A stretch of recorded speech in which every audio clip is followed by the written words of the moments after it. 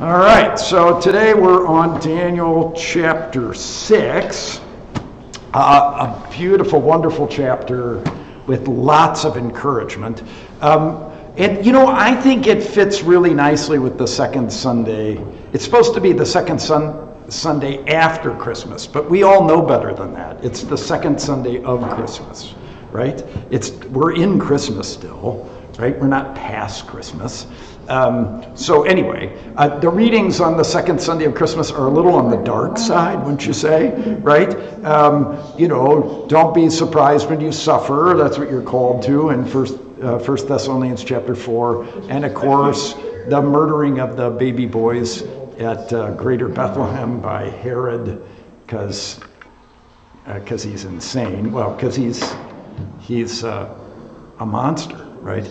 Um, and uh, and we have, you know, again, we have sort of the government attacking uh, Daniel. We've had this before in Daniel, the book. We've had it kind of over and over again in Daniel, um, and uh, and now.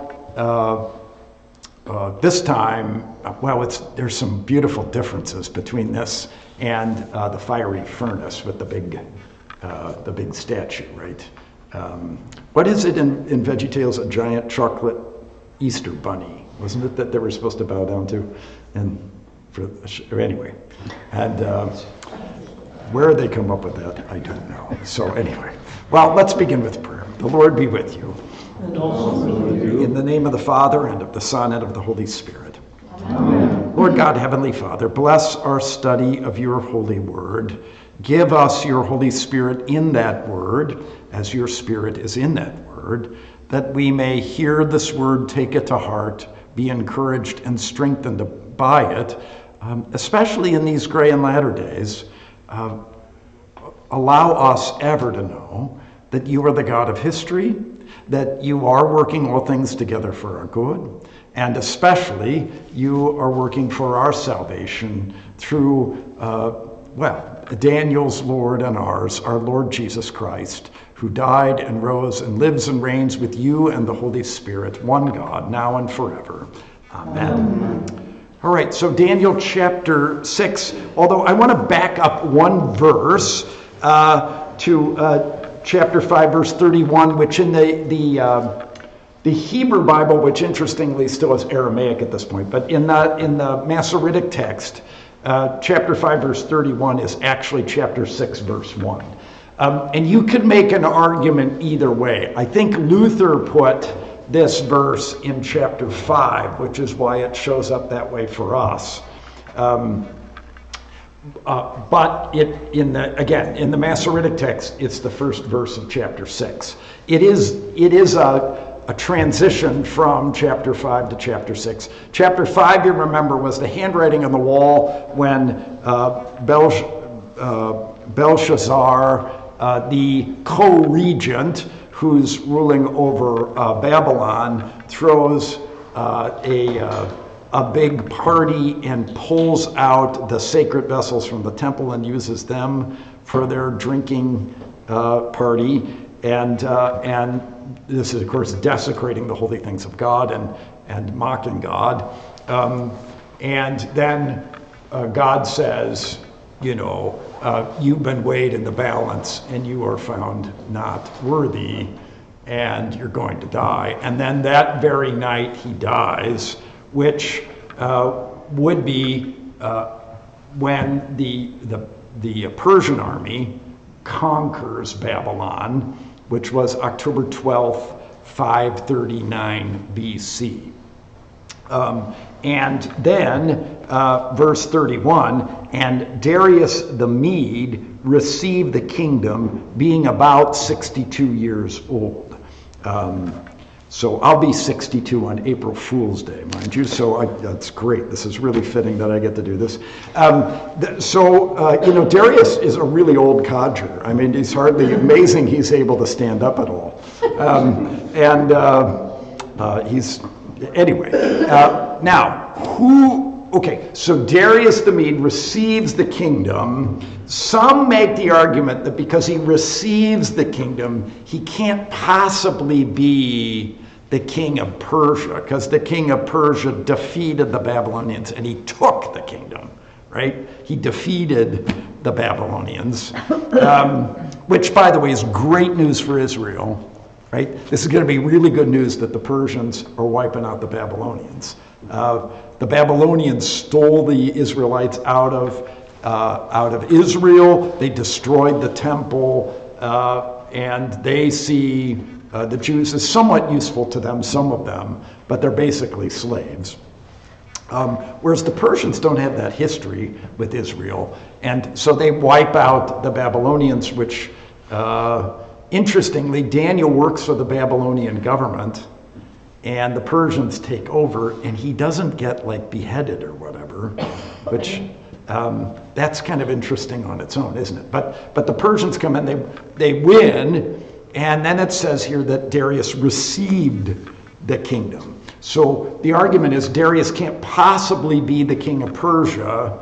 Uh, who just conquered because he receives the kingdom, the king of Persia gave it to him, would be why it says received. Although in Daniel, pretty consistently, uh, God is giving, God's the one ruling the history. And if you remember back in chapter 2, um, when uh, we had Nebuchadnezzar's dream, uh, chapter 2, verse 21, well, uh, 20, Blessed be the name of God forever and ever, to whom belong wisdom and might. He changes times and seasons. He removes kings and sets up kings. He gives wisdom to the wise and knowledge to those who have understanding.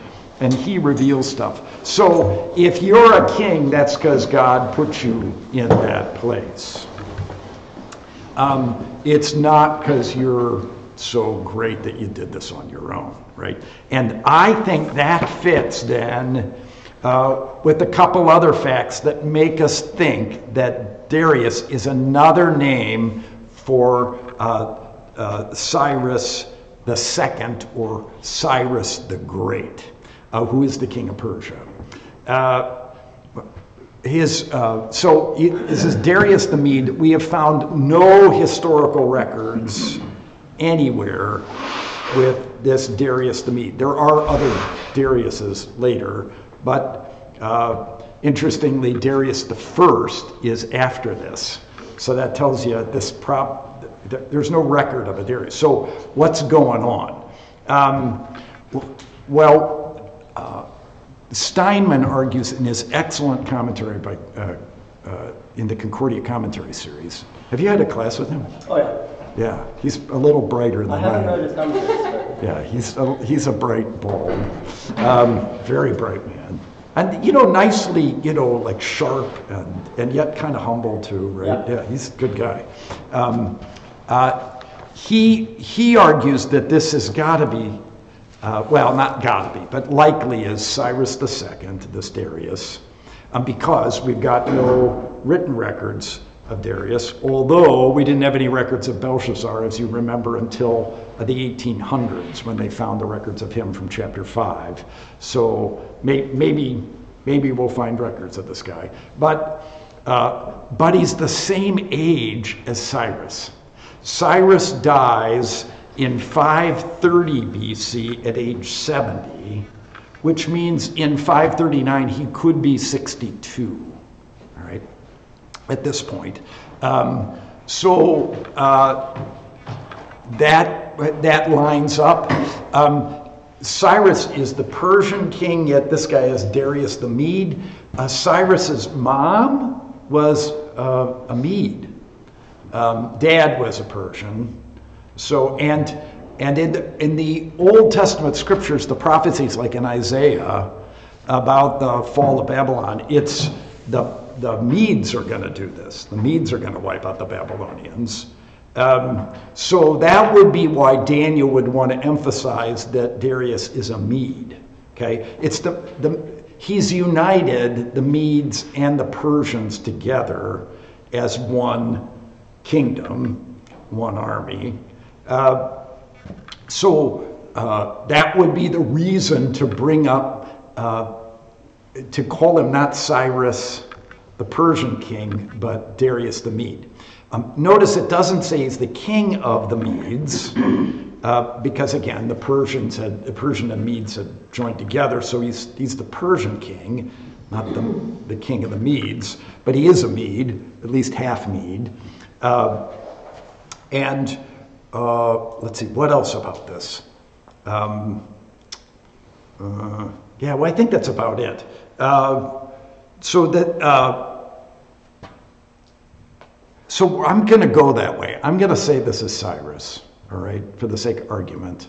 Um, if you go digging around and find cuneiform tablets that tell us about this Darius guy, I'll, I'll, that he is a different guy, I'll believe you. But um, until then, I'm going with Cyrus. So um, uh, now, so he takes over right after the fall of Babylon, right? Daniel was there at the fall of Babylon, right? He was telling uh, Belshazzar, the co-regent who was ruling over uh, Babylon, told them that it was going to end. Uh, and now we get chapter 6. So Darius, it pleased Darius to set over the kingdom 120 uh, satraps to be throughout the whole kingdom, and over them three presidents, of whom Daniel was one, to whom the satraps would give account, so that the king might suffer no loss. Um, actually, uh, this, this happened over a fair bit of time. Uh, so uh, uh Darius, uh, Cyrus comes in, uh, takes over, and he has a, a co-regent or a, a, governor he appoints to run Babylon at the beginning. Um, uh, a guy named uh, uh, oh, it's it's G U B B U R A, I think. Uh, uh, Gabura. Um, he's the general who conquers Babylon. He takes over at first and he starts to appoint some of these regional administrators, these satraps. Um, uh, but uh, he dies shortly after he takes over. He, he lasts maybe, I don't two, three months, something like that. So then Cyrus comes in and he continues to appoint these. It would take a while. Right? You got to figure out uh, who's going to be loyal to you and who isn't, who knows how to relate to the Babylonians. Right? Imagine if somebody, some government took over the United States, or well, or we took over Afghanistan, right? Who can you trust in the local government? Who's gonna who's gonna work with the Americans? Who's gonna betray you? Right? And you need local leaders to help you rule so that they know kind of the customs and the people and all that stuff, right? So uh, this is a complicated process getting these guys all named. And you can tell, I think, that uh, Cyrus Darius is a, is a wise guy in that in this regard, he recognizes that he's not sure who he can trust yet. So over these 120 administrators, regional administrators, he puts three presidents, um, uh, three men to kind of rule over those guys. Uh, now, why three? Uh, well, it's you don't know who to fully trust yet. So you can't put one guy in charge because he might, might not be trustworthy. So this is uh, this becomes really important in this account that he appoints three guys to rule over, and I don't know why he picked Daniel. Doesn't tell us. Um, could be that you know, as he interviewed people, he found out that Daniel had, you know, been successful and was honored and all that. Could be because he was a third ruler um, when this happened and he was respectful to Cyrus. I don't, I don't know. Um, regardless, so he appoints these 120 satraps and then the uh, the three presidents over that. By the way, there is an argument that 120 is way too many administrators, too many regions for uh, for Babylon. Uh, but we have historic evidence that in other places there were actually more regional administrators than this. And if we know anything about government, you know, you can have a lot of bureaucracy. So um, this can happen. Um, and oh, um, I, I, I, should say, uh, we do kind of know why Daniel got picked, excuse me, verse 3. Then, Dan, then this Daniel became distinguished above all the other presidents and satraps because an excellent spirit was in him. Uh, so, as he's put in this position uh, over the satraps, he, he rises to the top, right? He's, I, look, we know Daniel in the past. He was respectful to King Nebuchadnezzar, even when he disagreed with him, right? Um, and he, he was willing to say to Nebuchadnezzar, hey, this thing of asking your wise men to come up with a dream that you're not revealing to them, that's not fair. Nobody does that. You can't do that, right? So Daniel's, um, Daniel's respectful and yet uh, not afraid to give the truth to those in authority, which, if you're someone in authority, you need somebody that's going to tell you the truth. Um, and he did even say it to uh, Belshazzar. He gave what the dream meant, that he, or the handwriting on the wall meant, that he was going to die, even though, boy, you'd be scared of telling a king that, because he could just chop your head off. Um, but Daniel doesn't. Daniel's a man of integrity, faithful, trust the Lord. His name means, by the way, that uh, Elohim is my judge, right? So uh, God is his judge. He trusts him rather than man. So, um, like Joseph, when he ends up in, uh, even in the prison, um, and with Potiphar and all that, he always rises to the top, right? He, uh, Potiphar puts him in charge of everything except his wife, and then when he gets thrown into prison, he he becomes in charge of the whole prison right? I, I must, I'd be a riot to know Joseph, right? This guy, you know, kind of everything he, he does goes well, and so he rises up. Daniel too. And uh, which, by the way, you know, use your intelligence and hard work and skill and all that to serve your neighbor, even if your neighbor's a total pagan, even if your employer isn't Christian or whatever. So what? You, you work hard, you do your best. Um, I know there's people that work at Herman's Boy and do really good work, even though the original owner is pretty much a jerk. But uh, um, ah, just kidding, Floyd. Um, so you, uh, you know, every now and then I, I hear about the crazy things that go on in corporate America, where they give you diversity training or other stuff and whatever. Well, you know, be as wise as serpents and harmless as doves. You know, listen politely during the diversity training. I probably wouldn't wrestle there. I don't think that's, you're not going to get very far um, fighting the HR department. Um, and then just do an incredibly good job so that they can't possibly want to get rid of you, even if uh, you're not on the same page they are, right? Um, on these other things. Um, and then confess Christ all over the place kind of privately. By the way, the great majority of Americans know that men are men and women are women, contrary to all the rot poured out in the media all the time and our, our government. Don't, don't be afraid of this. I mean, uh, be afraid of it. You know, I mean, our, our government needs to get their act together, but, but look, it's just reality, right? Um, if I stood up here 20 years ago and said, um, I'm a woman, you would laugh right? Um, uh, now you'd go, well, Pastor, maybe we need some surgery for you.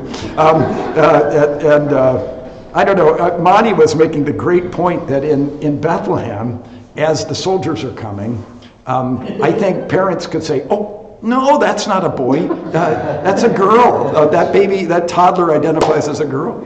Um, saw him picking flowers, her picking flowers the other day. Um, so there. Oh. And by the way, this characterization of men as always, you know, loving guns and hammers and things, and women always loving flowers and baking and stuff. baloney. That's, you know, no. I mean, there's guys that love flowers and women that love guns. Great, right? We got a diversity. It's good. Uh, and uh, how, how, how we let somebody get away with this, the stereotypical garbage um, and then uh, say that this means that you're actually a, a, woman trapped in a man's body or whatever. Okay. enough of this. So, um, so uh, Daniel uh, works hard for the Persians, the Mede Persians here. Um, and look at the end of verse 3 there. And the king planned to set him over the whole kingdom. I don't think he means the whole Persian kingdom. I think he means the whole kingdom of Babylon that's been taken by the Persians. So he, he was going to be like the regional administrator, right, over the satraps uh, and, and ruling it all because he's so good. And I think Cyrus trusts him, Darius trusts him. And then verse 4 happens.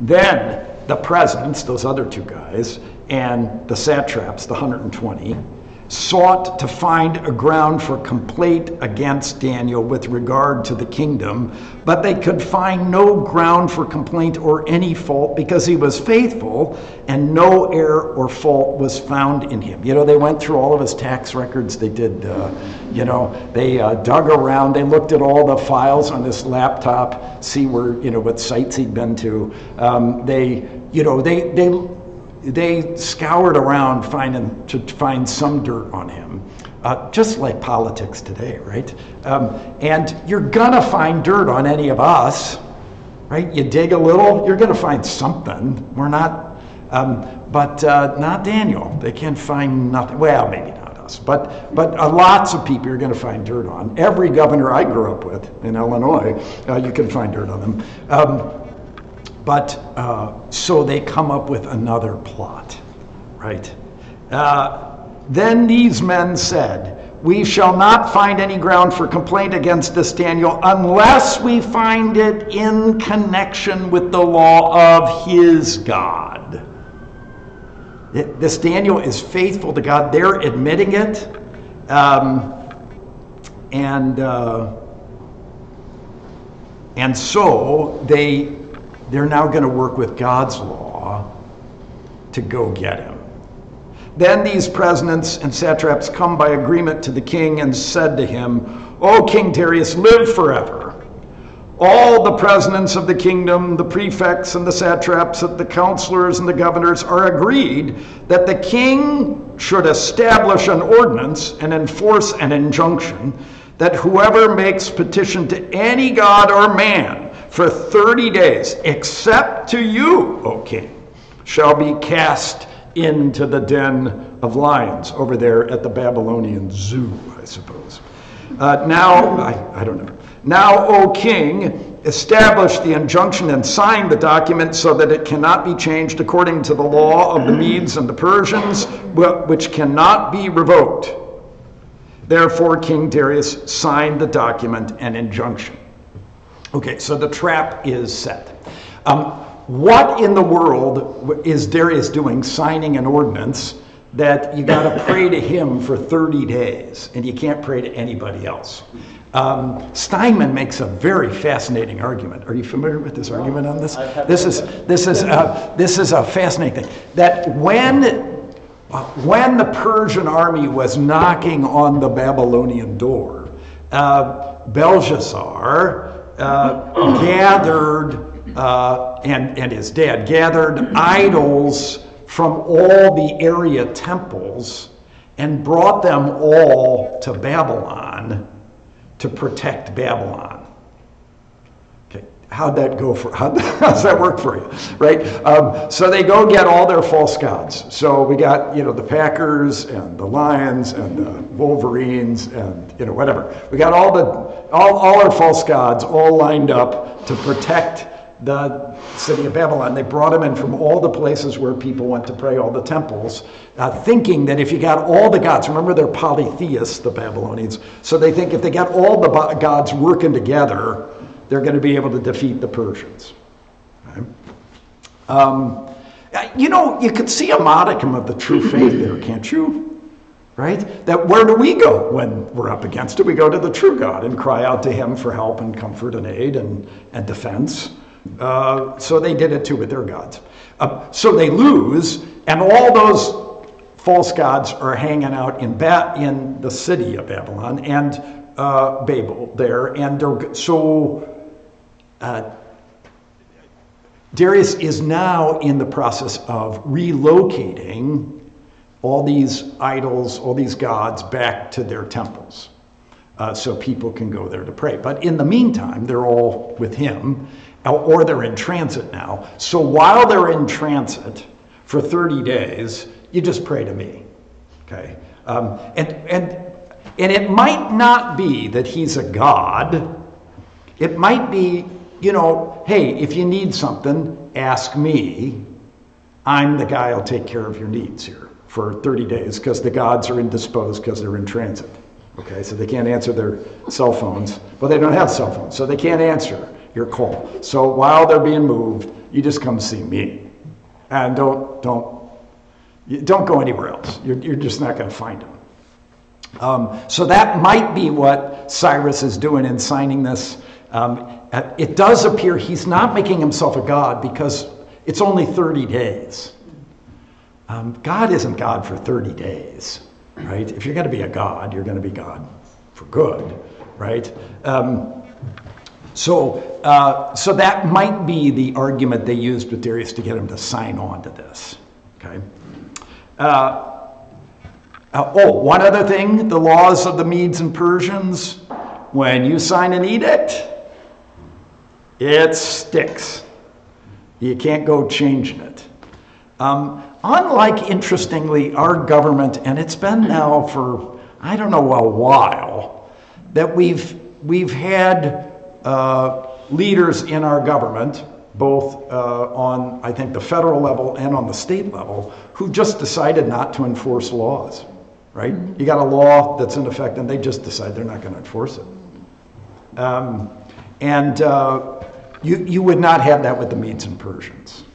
Um, I, I don't think we should have it here either, which I think is why there was that crazy Supreme Court ruling about Oklahoma and the Native American tribes uh, that, uh, you know, these people are under Native American rule if they're Native Americans, not under the government of Oklahoma. That, uh, I think that's because everybody knew that uh, you know, they're under US law and, and state law there, and they were just enforcing it that way, but that's not actually what the law said, if I remember right.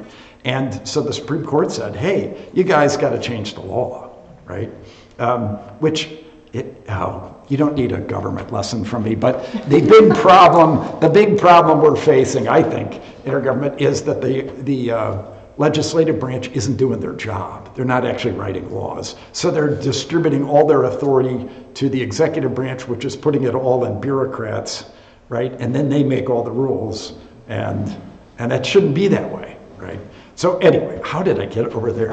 Um, well, uh, uh, laws, laws are supposed to stand um, and not be revocable. Um, although this got kind of crazy with the Medes and Persians, got to the point where you, if a ruler condemned an innocent man to death and then later determined that he was wrong and the guy was innocent, uh, too late. He's already condemned to death, and you can't revoke that, even though you're the ruler who imposed it, right? So, um, so I think that would make Persian rulers careful. Yes, Nathan. What is their? What is the Persians' you know, normal kind of a freedom to worship wherever you want? Yeah, um, I believe they are. I believe they're also kind of uh, polytheists as well. Um, and they're a little less uptight about this than the Babylonians, it appears, right? So, um, and this becomes an important point, might as well cover it now. In this change of rule from the Babylonians to the Persians, uh, the first thing we note is um, uh, that in Babylon everybody's a polytheist, but if you lost to Babylon, clearly our God, Marduk or Bel, is bigger than your God. So if you're going to be here in Babylon, when we put up the big, you know, uh, Wolverine block M up here, right, to Marduk, then you're going to bow down to it, okay, because we beat you. Right. Um, uh, okay, so when, when I've been to games at Michigan State and at Michigan, um, I've uh, and I love Michigan and Michigan State, um, but they're not my first love. But um, I'm a polytheist when it comes to college football. And so when I'm there at the big house, you know, I'm like, hey, through the right, you know, I'm joining in. And when I'm at Michigan State, I'm doing whatever the Michigan State fans did. I just imitated them, right? I bowed down to their, to Sparty, right? Um, uh, you know, I didn't get up there and go boomer sooner, right, in front of everybody. Um, uh, although I think I, I would have lived, but um, uh, uh, but that's so when you so to the Babylonians, when you lose to us, you've lost to our God. That's why you got to bow down to the big statue that Nebuchadnezzar sets up. Um, it's not saying that your God isn't a God. It's just saying our God beat your God. Your God's not the God of gods and Lord of lords. And of course, Shadrach, Meshach, and Abednego can't do that because there is no other God, right? And the early church, uh, they had uh, the Christians, well, everybody had to offer a little bit of incense to Caesar to worship him, which I think pretty much most Romans knew this was just a bunch of hooey, but they did it because that kept the government happy. Um, but there were Christians that wouldn't because they're not going to worship Caesar. Caesar's not our God. They, and they looked to Shadrach, Meshach, and Abednego and Daniel, and they wouldn't do it. And for that, a lot of them got martyred, um, or their life became difficult. Uh, so, so that's how the Babylonians did it. The Persians, they, you know, they're not that uptight about it. It appears. Um, and in this case, this is praying to no other gods for only 30 days. You know, you're sort of fasting from praying to your God while your gods get relocated, probably. Right? So it's, it's not as uptight as the Babylonians that way. Um, in, in Babylonian thinking, the Jews are exiles uh, that have been, you know, they're slaves to uh, bond servants to uh, Babylon, Babylon um, uh, and they're exiled from Israel. It, under the Persians, they're allowed to return. If you want to go back, yeah. Um, the Babylonians tear down the temple in Jerusalem. The Persians are going to rebuild the temple in Jerusalem. Right? So, I mean, there's quite a difference here. Um, and which is to tell you this whole chapter, well, uh, chapter 5 and chapter 6 are telling you that the Persians wiping out Babylon was really good news for the faithful.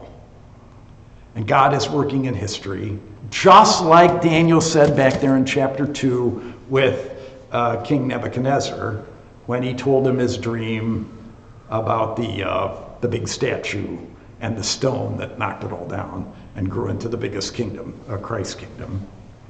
Um, that it's God who raises up and drops down. And he's, he's doing it, he's taking care of his people for their good, right? Um, so thank you for that question, Nathan. Did I answer? Okay, did we get, get it covered? Okay. Um, so let's see. Um, verse 10. And I, I still remember, Joe, were you with me at uh, the, the Luther home in uh, Peoria when an old retired pastor, I bet he was 62 or something, um, is, is hardly alive. Um, he was, uh, he preached on this text and he talked about, remember, uh, about the woman that, ne- and he was, he was kind of a famous, he was the, the father of, Oh, who's he's the father of a member at Redeemer Peoria, but I, I forget who it was. Dear wonderful man, what a great sermon. He talked about how, you know, uh, Daniel here goes back to his habit of praying um, even after this edict. He doesn't change. And it reminded him of this woman he went to visit in the hospital. And this woman always knelt when she prayed when she prayed at home. She always knelt. So, Pastor does this devotion with her. She's in the hospital. She's pretty sick. And he says, Let's pray. And she climbs out of bed. Yeah, this takes a bit. And kneels on the floor of the hospital room. And he's like, You don't have to do, no, you don't. She, that's how I always pray. Right? And, uh, oh, I'm getting choked up thinking about it. And, and, um, and he said, You know, I've noticed here at this, uh, at this Hillside Village is the name of the place. Um, I've noticed here that at meals, some of us aren't praying before we eat. I bet you all prayed before you eat, ate at home. I don't think you should stop your habit. Right? Thought it was that was a great thing to say. Say it, and he said it in a you know gentle way, but also you know. Hmm. um, well, here's Daniel, right? When Daniel knew that the document had been signed, and you know he's meticulous about keeping the rules. We know that they can't. They haven't found anything wrong with him. He went to his house where he had windows in his upper chamber open toward Jerusalem. He got down on his knees three times a day and prayed and gave thanks before his God as he had done previously. So here's Daniel. So this edict comes out. You can't pray to anyone except King Darius. And Daniel goes, okay, um, you know, if there's any street repair issues, I'll go to Darius. Um, but when it comes to giving thanks to the ruler of the universe, I'm still going to pray to him. And uh, now, there's some interesting things here. His, he, he's got his windows open. The disciples in the upper room, doors closed and locked, right? Um, uh, he's facing Jerusalem. What direction do you face when you pray? Uh, when I'm praying at the altar there, I'm facing Jerusalem, everybody. I'm facing east. Okay? You know, um, Pastor Krieger saw to it that the, the, that the celebrant at our altar was facing east, right? Um, our church is kind of backwards that way. Most churches face east, right? We face west, but that's so that the celebrant is facing east as he prays on our behalf, right? That's kind of fun. Um, uh, by the way, does it matter what direction you pray? No. Why? Where's Jesus? Everywhere. So, what direction is everywhere? Right? Every direction's everywhere. So, there we go, right? You don't, we don't have to do that, but boy, if you go into the chapel at uh, Blodgett Hospital, there's a little kneeler with a, or a little rug, um, roped off little thing for uh, Muslims to pray toward Mecca. You know, and they got it angled the right way to get, you know. Um, yeah, you don't have to do that because our God's everywhere and in charge of all things. Um, but then, right, the promise was uh, that the temple would be rebuilt in Jerusalem. He's praying toward Jerusalem. This is, this is confessing his hope in uh, in the return of Israel to Jerusalem. Okay? Which is beautiful, isn't it? And he kneels to pray. Um, lots of prayer happened in the Old and New Testament where people are standing. Paul does say that he bends the knee as he prays um, for, I believe, the Philippians, or is it the Ephesians? I can't remember at the moment. Um, uh, but that meant he knelt.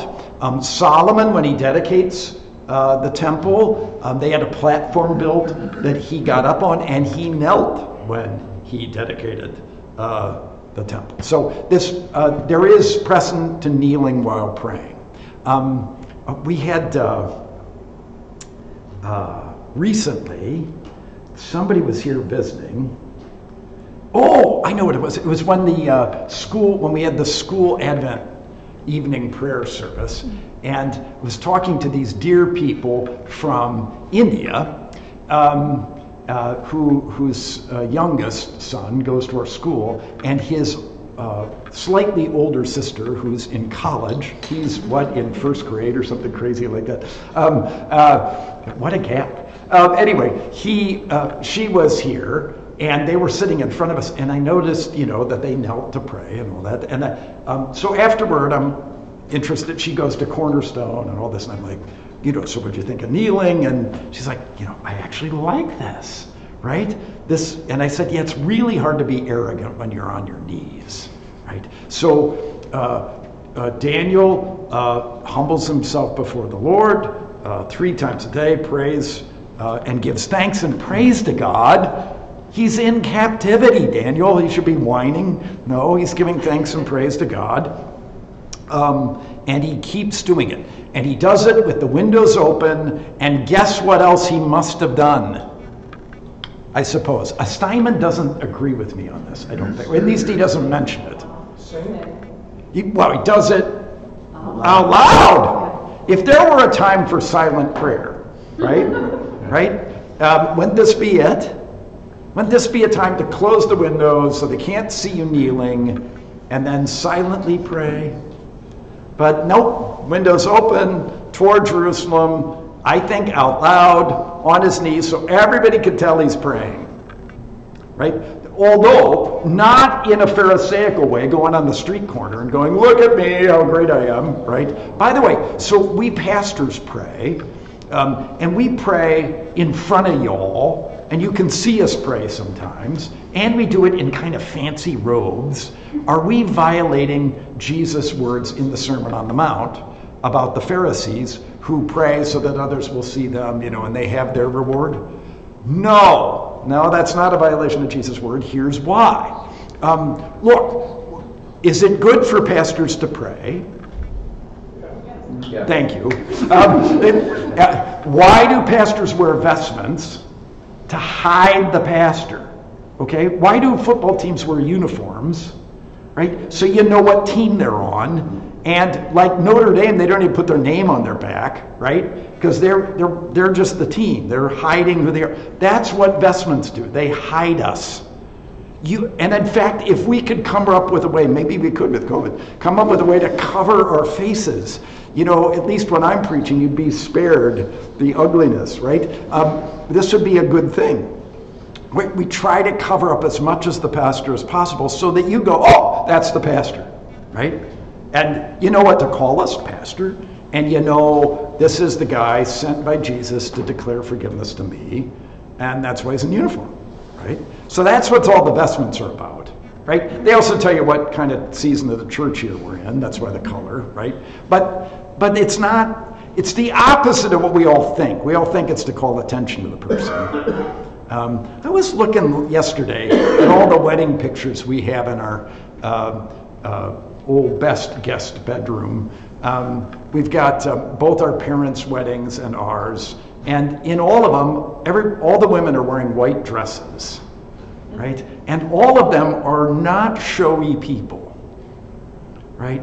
But why are they wearing white dresses? Because they're confessing Ephesians 5 that in baptism, Christ, our true bridegroom, sees us without stain or wrinkle or any other blemish, but holy and blameless, right? So they, these brides were all announcing uh, that it's Christ that matters, right? And you, no, and nobody goes, oh, that's kind of showy of the bride to wear white, you know, to stand out like that, right? We all go, well, of course she's wearing white, right? Um, and and honestly, the more that we cover up of her, probably the better too. Actually, for that matter, right? Um, uh, um, what, oh, what was that in the office where the one girl wears white to a wedding um, because it was an emergency? Uh, she looked better in white. So that anyway, um, yeah, you don't do that, right? You let the bride be the one to wear the white.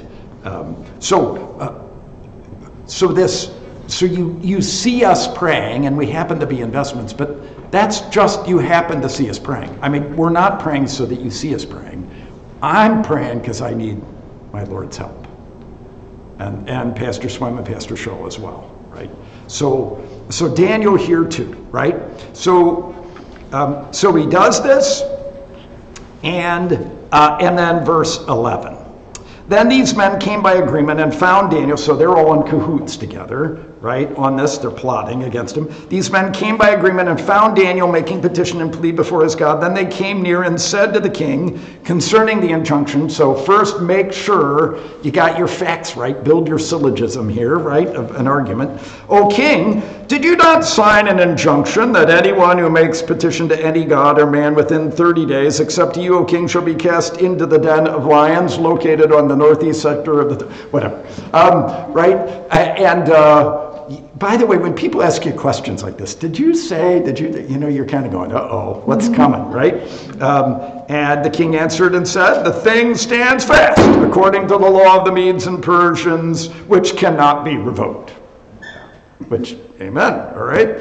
Then they answered and said before the king, Daniel, and now the camera turns and looks at Darius, and what happens to his face? Oh, right? Uh, he is not happy about this. Daniel, who is one of the exiles from Judah, pays no attention to you, O king, or the injunction you have signed, but makes his petition three times a day to his God, is implied there. Um, by the way, what about these charges? Is he one of the exiles from Judah? Yes. Does he pay no attention to the king? No! He pays attention to the king on everything. That's why he rose to the top. Okay? He just is disagreeing this one thing, and he paid attention to it. He heard it, but he's not going to obey it. Right? Because he's going to obey God, not man. Right? Um, and what's the other silly charge they have here? Um, or the injunction you have signed. Um, well, yeah, he is disobeying this silly overreach of a rule, right? Um, but my goodness, he is, the, he is more loyal than the rest of these guys to the king. I think that's clear. Then the king, when he heard these words, was much distressed and set his mind to deliver Daniel, and he labored till the sun went down to rescue him. Then these men came by agreement to the king and said to the king, Know, O king, that it is a law of the Medes and Persians that no injunction or ordinance that the king establishes can be changed.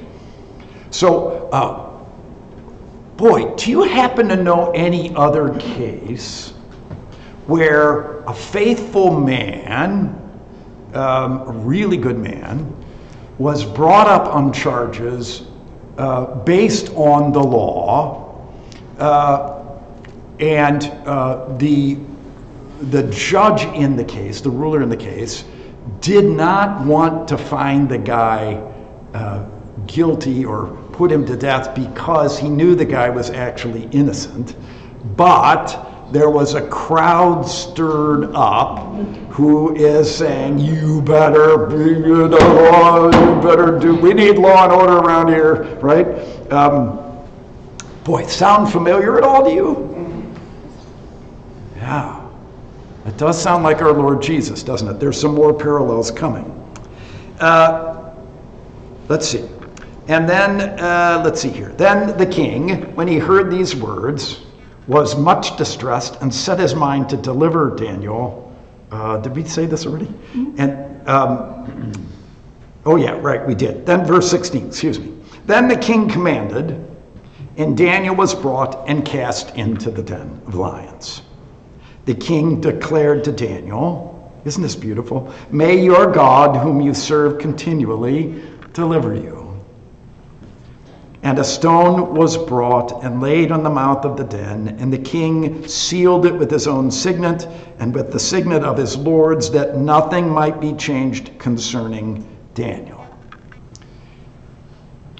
Um, does remind you of Jesus being put into a tomb and uh, Pilate ordering that the grave be sealed, right? Uh, marked. Here, by the way, uh, Darius might be outsmarting these bad guys um, uh, because he's sealing it, but he's also making them seal it. We're not, so we're going to leave it up to Daniel with the lions, right?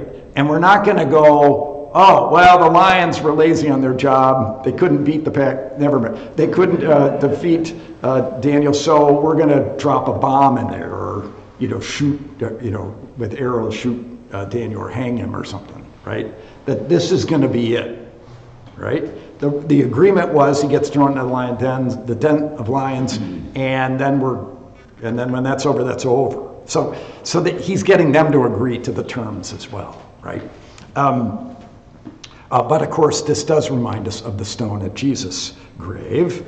Um, and let's see here. Uh, then at break of, oh, wait, excuse me. I, I skipped. Then the king went to his palace, verse 18, and spent the night fasting. No diversions were brought to him, and sleep fled from him. Uh, isn't this interesting? Darius actually is concerned about Daniel. I, I don't know. Does he love him? I it sure acts like it. He cares about him. Um, he knows this is an injustice. Remember, he wanted to put him as the highest guy in the kingdom, you know, for running Babylon. Um, and so, no entertaining, no, no food or drink. And then at break of day, which is what we should have done on Easter Sunday, um, we all should have we all should have had, as I like to put it, had our lawn chairs set up there before sunrise, ready to see the resurrected Jesus. You know, with go Jesus signs, welcome home Jesus, you won the battle Jesus. But what are the women going to do?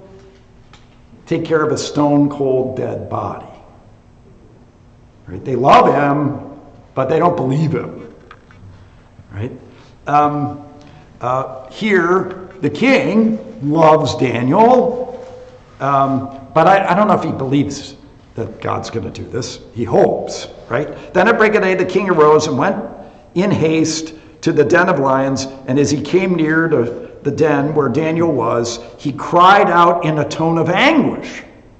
The king declared to Daniel, O Daniel, servant of the living God. That is a beautiful phrase, a title uh, used in Scripture a few times. Um, and indeed, our God is a living God. Um, uh, uh, this shows up in Deuteronomy, in Joshua, and in Matthew. Um, is this. Uh, well, God is the God of the living, Jesus says, when they try to trick him with that, that poor woman who, in their story, had, had, had seven husbands and they all died. And then and then she finally happily died. Um, and then um, in eternal life, which man's going to be your husband? He says, You don't know what you're talking about. God is not the God of the dead, but the God of the living. It's the God of Jacob and so forth, right? Um, and they're not dead, they're alive, thank you. Um, but so anyway, I mean, what a confession, interestingly. Has your God, whom you serve continually, been able to deliver you from the lions? Then Daniel said to the king, O king, live forever. I don't know. We have, so has the stone been removed yet? Um, I don't think so. So we, maybe that should be muffled. Oh, cool, live forever. Um, and that my God sent his angel and shut the lions' mouths, and they have not harmed me because I was found blameless before him and also before you, O king. I have done no harm. In the Veggie Tales version, uh, da- Daniel and the lions had pizza together. Um, no, no, they didn't eat anything. They went on a fast. Isn't that interesting? Um, and and they're fasting because the angel, well, an angel of the Lord, perhaps the angel of the Lord, that is the pre-incarnate Christ, the one who showed up with Shadrach, Meshach, and Abednego in the fiery furnace, shows up down there with Daniel. Do you realize when you're in trouble, Who's with you? He was with his Old Testament saints. He's with you no matter what you're up against, right? He's there with you. Um, and uh, uh, then the king uh, was exceedingly glad. Um, oh, let's see. Oh, wait a second. I, I skipped a part. And also before you, O king, I have done no harm. King, I didn't do anything against you. Right? You're my king. O king, live forever is the greeting for a king. Still does it. Long live the king. Right? He, um, uh, Daniel's a loyal servant because that's what God called him to. Right? If our president walked into this room, what would we all do? Stand up. All right? I don't care which president is. I don't care if you like him or don't like him, you stand up. He's our president, right? The governor walked in. I'd stand up. I am standing up. um, but I wouldn't sit up, right? I mean, I'd stand up, right? Um, well, that's, that's what we do. We're respectful. We're Christians. We know that God put these people in authority, right? Um, and that's how Daniel lives. Then the king was exceedingly glad and commanded that Daniel be taken out of the den. So Daniel was taken up out of the den, and no kind of harm was found in him. Sound like Shadrach, Meshach, and Abednego a bit? Huh? And Jesus coming out of his grave, although still with the nail wounds and the spear wound, to comfort us and encourage us, right? So Daniel was taken out of the den. No kind of harm was found on him because he had trusted in his God. And the king commanded, just like Jesus, trusted, he entrusted himself to the Father, Lord, into your hands I commit my spirit. And the king commanded, and those men who had maliciously accused Daniel were brought and cast into the den of lions, they and their children and their wives. And before they reached the bottom of, of the den, the lions overpowered them and broke all their bones in pieces. Uh, now, is that fair? Um, maybe according to law of Medes and Persians, it's fair. But, uh, and there is, there is this sense in Persian law, right, that if you falsely accuse somebody, whatever punishment you were seeking for them is given to you. Um, so, uh, you know, our government doesn't work that way. I don't, I'm, I think we, we might be better off if we did a little bit, right? Um, but in Jewish law, this would be completely unlawful. There's nothing right about killing this man's, uh, these men's wives and children, their whole household, for what the guy did wrong, unless they were in collusion with it, which seems really unlikely here. So, yeah. What did they do with Achan? Yeah, well, so that's interesting. The Hebrew is a little unclear. Was it just him and all of his stuff? Or was it him and his family? There's a, there's a debate on, we were having this debate at men's Bible study actually. Um, and if his family was included, they were involved in it. They knew the secret, okay? Um, if his family was not involved in it, they weren't. They didn't know the secret. It's, and it, it is nebulous which way it goes. Okay. Um, so you. Hole in the tent, you should have known. Pardon me? It seems like all of a sudden the guy's burying something in the tent. Well, maybe. Hey, kids, look over there.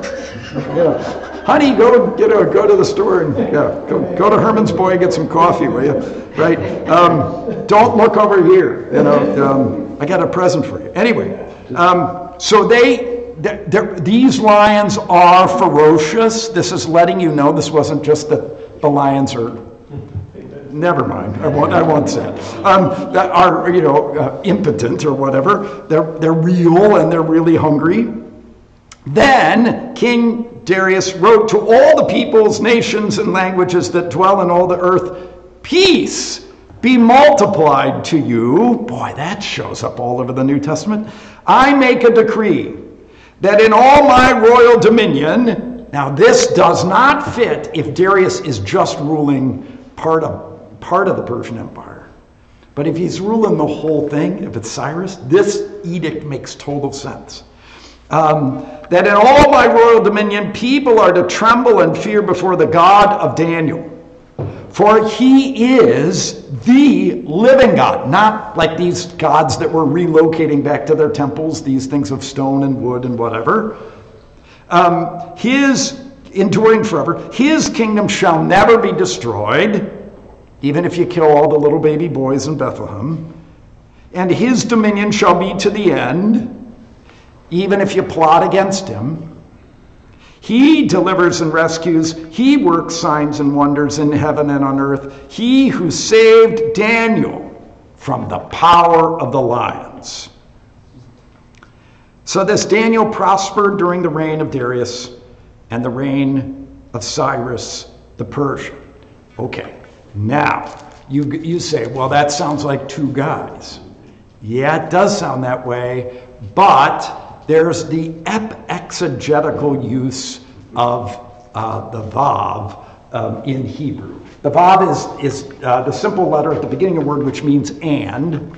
Um, in Greek, that word and is kai, and there's an exegetical use of kai as well, of, of and.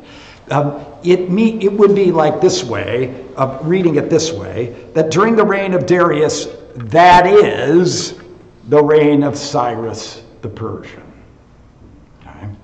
Um, I probably should have pulled that argument out first, shouldn't I? um, uh, that, but um, that it, it- it's a this happens, and it happens elsewhere in Daniel, where Daniel uses vav uh, exegetically, to, as uh, in other words, you know, uh, using it that way. Like we do, you know, like you'll identify a person by two names in the, you know, pastor, that is Dave Fleming, or whatever, right? That same kind of thing, all right? Um, we just don't do it with the word and, I think, in English. But they did in both Hebrew and Greek.